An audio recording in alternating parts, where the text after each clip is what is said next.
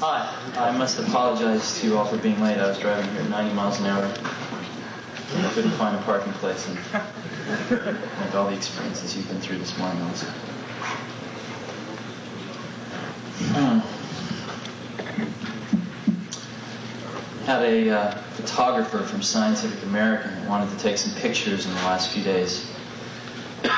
So we went over to a school. We thought they decided they wanted to take some pictures of someone from Apple in an educational setting using some computers, and we wandered over. Turns out there's a little booklet that is put out in Cupertino, and there's about 20 different schools with Apples, and we picked one out that had six Apple computers and wandered over there one afternoon. And this happened to be the afternoon that the fourth and fifth graders were going to be there. Once a week, fourth and fifth graders from this one school in a sort of an advanced learning program come over and use the Apple computers. And I had the most delightful conversation with some four and five year olds. They, they probably know as much about the computer as I do, maybe more. And they're, they're totally fluent in it, and they're very much at home in it, and they beat me in most of the games in it. And it was really quite an experience because we, we always talk about all these things happening sort of at the intellectual, verbal level, but actually got a chance to see 20 students interacting with these computers on a one-on-one basis. And I, I couldn't help remembering my own school days when none of these things existed and we just get into trouble all the time. 11.30 at night, last night, a friend of mine, Bob Metcalfe, calls me up, and uh, he's got three German friends visiting from Germany, and they want to buy 20 to 30 apples a month for some god-awful, who knows what reason. And they want them in Germany, and they want to talk about buying them at 11.30 at night.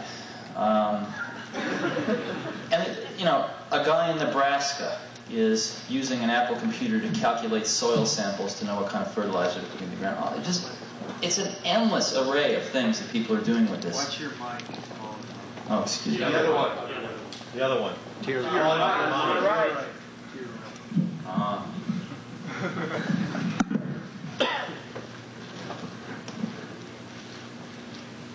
we had absolutely no idea what people were going to do these things when we started out.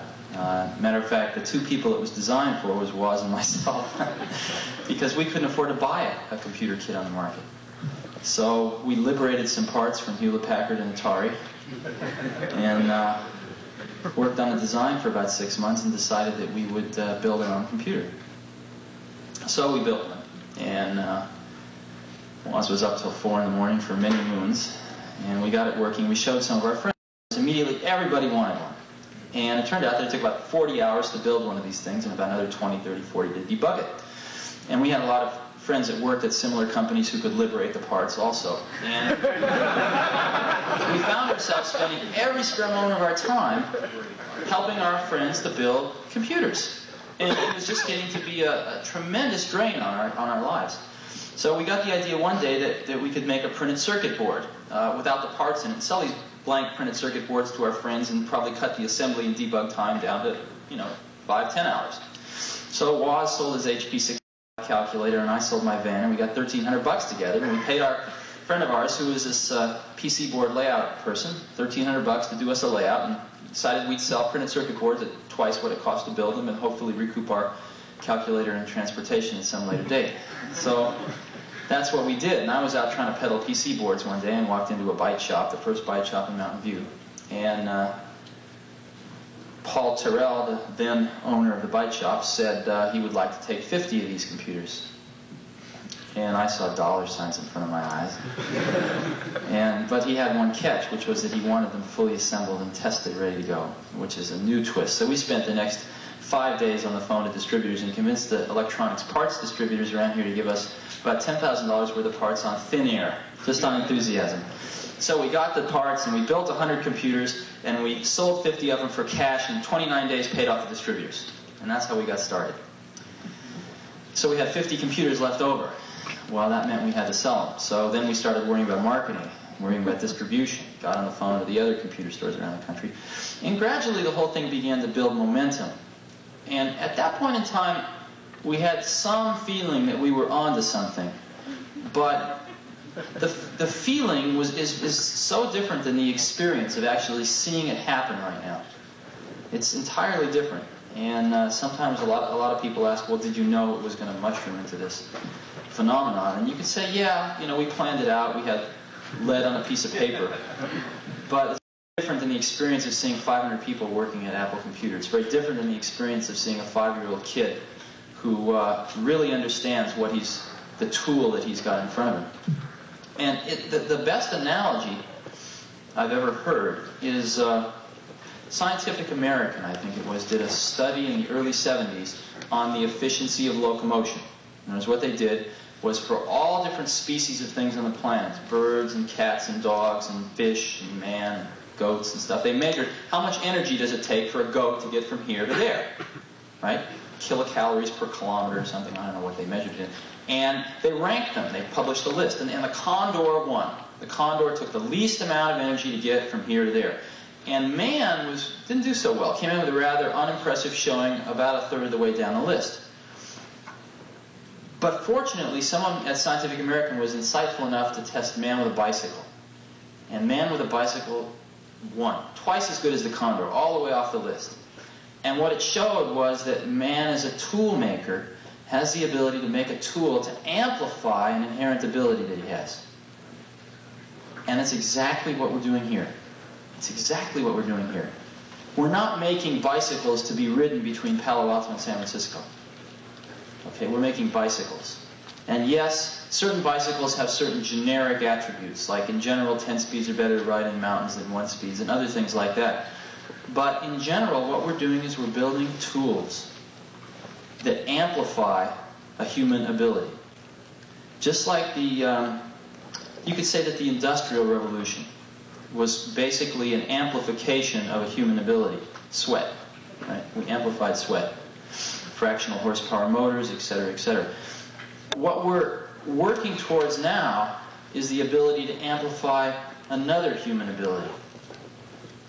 And we're just starting to get glimmerings of where it's going to go. As an example, um, how many of you use VisiCalc? Quite a few of you. At Apple, uh, every secretary now has an Apple on his or her desk. And they're doing all their word processing on them. You got to give them credit for that, given the software that's out.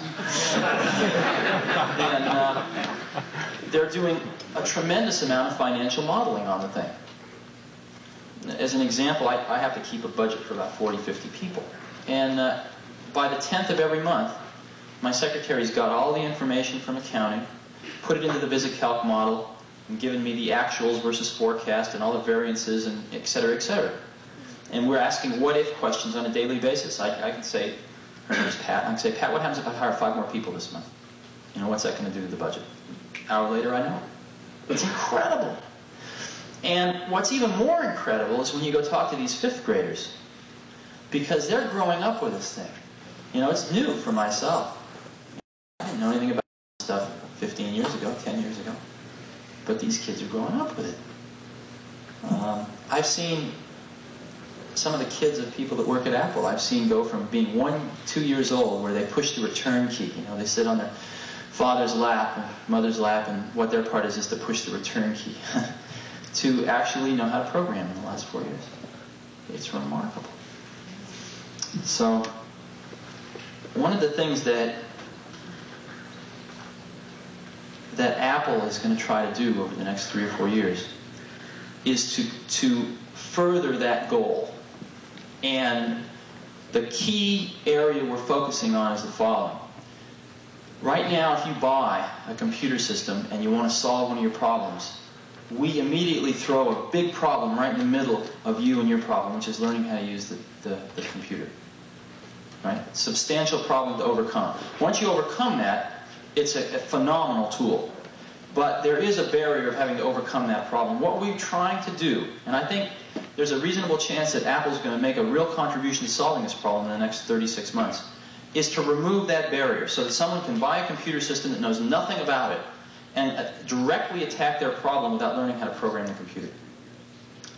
And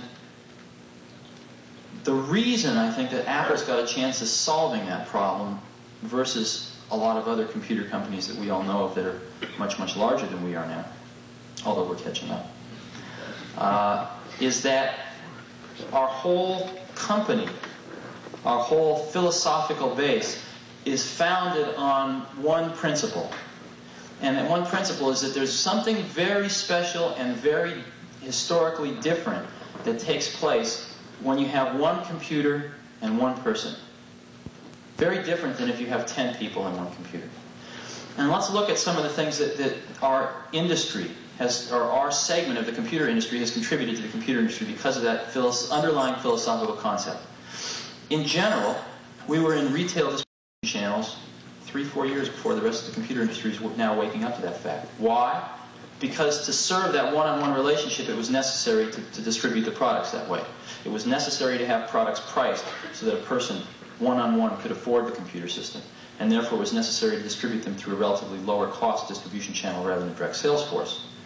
Interactive software, uh, interactive video, a computer system that can be sold for a few thousand dollars that can actually do some animation, that actually has the video that's so tightly coupled to the rest of the computer that you can do real-time. We've got a DEC 1170 at Apple where the terminals communicate with the 1170 at you know 9600 bits per second. That, that can't do anything like VisiCalc can. Okay? This is $300,000 computer system. And yet my secretary keeps the budgets on an Apple. It's far superior. So, and again, that comes from that one-on-one -on -one interaction. And that perspective is what gives us the feeling that we have an opportunity to really contribute to solving that problem. And that's where Apple's going. Now, we're very fortunate because the timing seems to be falling into place. In other words, as we move into the 80s, the amount of, of computational power, the amount of raw horsepower we can get into a small box for a reasonable price is, is staggering. Even in the last three years, since you know, four years since we started, it's, it's increased a few orders of magnitude. And one of the things that people always ask me is, uh, you know, what, what we've got right now is just fine. VisiCalc runs fast enough. You know, some of the database stuff runs fast enough. What are we going to do with this extra awesome power? And the answer to that is that we're going to put it into applying, in, into solving that problem again.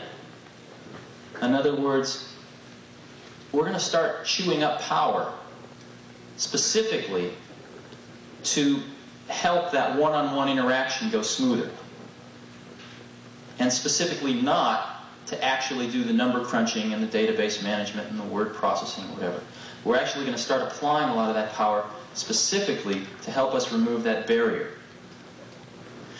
And so, assuming that we don't get into World War III, and assuming that we're able to continue to recruit outstanding people, it looks like the timing is just right for that to occur. So hopefully, when we have our International Apple Core meeting, you know, the third, fourth one from now, we'll all be able to, to talk about how we've solved that problem, because I really think it's going to happen. And I really think it's going to come out of an industry that four years ago didn't exist, that three years ago everyone said was a flash in the, in the frying pan, you know, and uh, I think right now we're starting to wake up. So thank you very much. Sure. There's a lot of stories to go around. How was name developed? Yeah, I knew I would get away with answering that. You start a company, you have to file what's called a fictitious business name statement. And what that is, the purpose of that statement, which you file with the government, uh, is to simply tell everyone uh, if Apple Computer goes out of business or, or anything having to do with Apple Computer, these are the individuals the, the corporate name. And as we were late into government form. and not knowing it, we thought that was important, so we figured And uh, everyone was saying to us like Matrix Electronics or all sorts of different names. And uh, we simply decided that we were going to call it Apple Computer. Someone suggested a better name by 5 o'clock that day. And partly because uh, I like apples a lot, and partially because I was ahead of Atari in the phone book, and I used to work at Atari.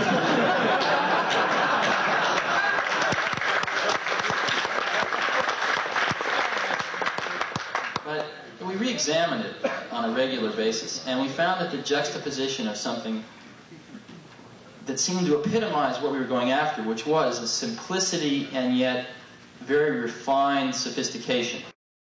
You've seen our first brochure, probably some of you have it. The, the title of it was Simplicity is the Ultimate Sophistication. And that wasn't just a, a, bullshit slogan. It actually was really what we've been striving for. And uh, the apple seems to symbolize that. So I think we're going to stick with it. yeah. Yeah, on the getting back to what you're talking about, about your goals, about eliminating this barrier of this obstacle in the computer there. You're talking about all this basically hardware power that's available inside that little box. What sort of things are you talking about that's going to translate that hardware power, the power that, that's inside there, into removing the obstacle of what's inside there on a more concrete level? Uh, well, you're asking me to talk about future products, and uh, I don't want to do that. But hey, philosophically, philosophically, um,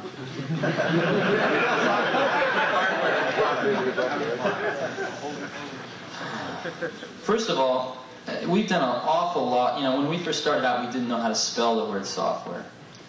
And uh, gradually we've learned. We've gone through the standard motions of setting up an internal application software department, which proceeded to fall on its face, picking it up and watching it fall on its face again. Finally, uh, we went through a phase where we decided that what we were selling was solutions, not hardware. And so we realized that software was a big part of the solution, and therefore we better get our software act together. Matter of fact, now we have more people in software engineering than hardware engineering. You know, our engineering department's over half people are devoted to software. And you know, a lot of times we ask ourselves uh, what software is. Matter of fact, notice all these um, every other word software. That must give you some clue. But what, what is software? You know, I've often thought about this and what's between software and hardware. And the only thing I can think of is that software is something that either is changing too rapidly or is, is uh, you don't exactly know what you want yet, or you didn't have time to get it into hardware, or the technology is not there to get it into hardware.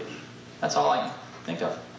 So, and, and what I see happening is that more and more software is getting integrated into hardware. Yesterday's software is today's hardware. So those two things are merging, I think.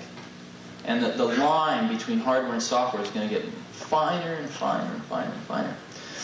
And one of the ways that we're approaching the problem of how to remove the barrier is to try to look ahead a few years and make some some predictions as to where the technology will be, both hardware and software technology, and how they're going to be merged together.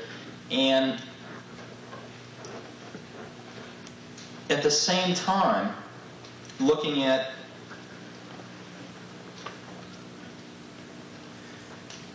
very carefully looking at the kinds of high-level tools that our customers are going to need and trying to, to make those two point at the same target. And I know that's very vague, and I guess I really don't want to talk about it anymore than that right now. so, yeah. Um, there are a lot of us that, that have bought Apple IIs here, I'm sure and that, that have put a tremendous amount of money and effort into using them and planning on using them for many years to come. Sure. Uh, what does Apple have in mind for for continuing support with Apple II? In other words, not dropping it like some other companies dropped it. Sure. This line and start out with a new one, and everyone has to go and buy all the new things, or maybe they won't want to, or whatever. But sure. What do you have in mind for the people who want to entertain at a level with? There's three or four different parts of the answer, and why don't I address each one? Because I think it's a really important question.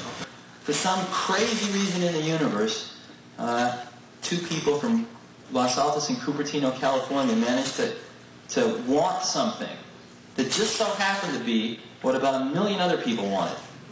And it's, it's seemed to fit the need fairly well. So well, matter of fact, that in the last two and a half years, nobody else has come close. So I don't think is ever going to be obsolete. To answer it in another angle, the second angle, uh, Apple is eventually going to have a broader line of products. Simply because, let's look at automobiles. Compare a Volkswagen Rabbit and a dump truck and a Mercedes-Benz, let's say. They all have transmissions, they all have engines, four wheels, seats. And they basically all perform the same basic function of transportation. What's the difference? There's a difference in emphasis. There's a difference in emphasis. Um, and I think that that's what we're going to look at doing is, is potentially broadening the product line with, with computers with a different emphasis, slightly different emphasis than, than an Apple II. And uh,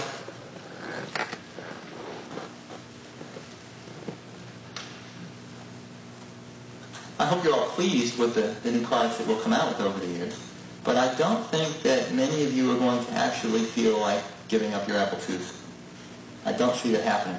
One other thing, I heard a comment up here uh, as you were asking your question. Somebody said, like Apple One, right? And Apple One was an instance where we did obsolete our product. We absolutely did obsolete the product. And what we did was uh, we decided that we were going to take care of the people who bought Apple Ones and the people that contacted us and said, listen, I'd really like to have an Apple II. We worked out an arrangement that I think everyone was very happy with. So uh, we did take care of those people. And uh, I don't think we'll ever be in a situation like that again of obsoleting the product. But right, you can't afford it. About 500 people now. And uh, Apple will do this year is probably somewhere between 150 and 200 million dollars worth of sales. And if you actually divide the sales number by the people, you'll find that we probably have the highest sales dollars per employee that anybody's ever heard of. And the reason is, is because we've got the most incredible collection of people on the planet that I, at least the most incredible collection I've ever seen, or most of the other people have ever seen. And working very, very hard. And if you actually look at why they're there, why people have come to Apple, why people came originally, it certainly wasn't for the salary. A lot of people came to Apple and took 50% cuts in salary initially. We pay competitive salaries now, but we certainly don't attract people on the basis of salary.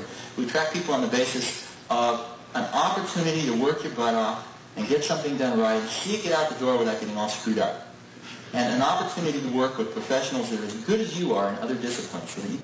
So what Apple's, what we're going to make, what we're going to judge ourselves by, the senior management of the company is going to judge itself by, is can we maintain this atmosphere of, of uh, tremendous creativity, tremendous productivity, a, a company where it's just fine to fall on your face as long as you pick yourself up pretty fast. An, oppor- an, an, an environment where we give people enough rope to hang themselves by and hope that they don't. If we can maintain that for the next 10 years and beyond, we'll, we'll have been successful. And the rest of the stuff will take care of itself. The rest of the stuff will take care of itself.